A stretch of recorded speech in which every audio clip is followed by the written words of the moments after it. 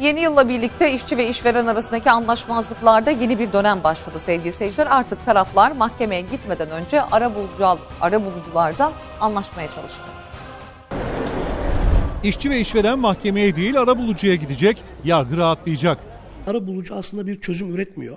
Tarafların kendi çözümlerini kendileri bulmasına imkan sağlıyor. İşe iade, hak ve alacak anlaşmazlıkları tüm bu konular arabulucularda çözülecek. Eğer burada anlaşma çıkmazsa konu mahkemeye taşınacak. Peki sistem nasıl çalışacak? Başvurular Türkiye genelindeki 108 adliyede bulunan arabuluculuk ofislerine başvurarak yapılabilecek. Arabuluculuk ofisinin bulunmadığı yerlerde ise sulh hukuk mahkemelerinin yazı işleri müdürlüğüne başvurulabilecek.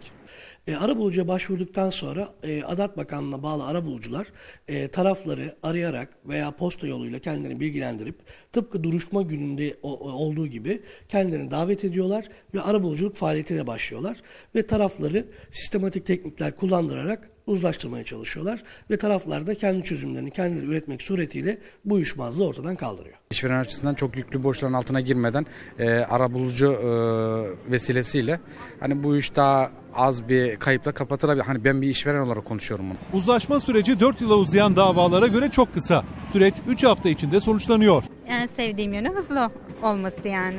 Yani normal iş mahkemelerindeki e, davalar 2-3 yıldan önce bitmiyor. Bu anlamda bir e, şey kısaltma yapabilir yargının işleyişi açısından.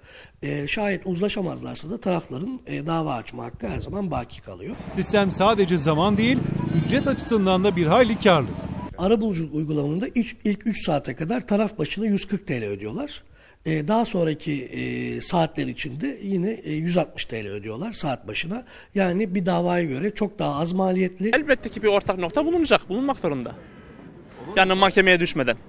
Türkiye'de bugün 5000 arabulucu avukat var ve bu rakam yakın zamanda 8000'e yükselecek. Böylelikle yargın elindeki 450 bin iş davası elinden alınıp elindeki yük hafifletilmiş olacak. Bu yaklaşık görülen davaların dörtte birine tekabül ediyor. Emre Kol, TGRT Haber İstanbul.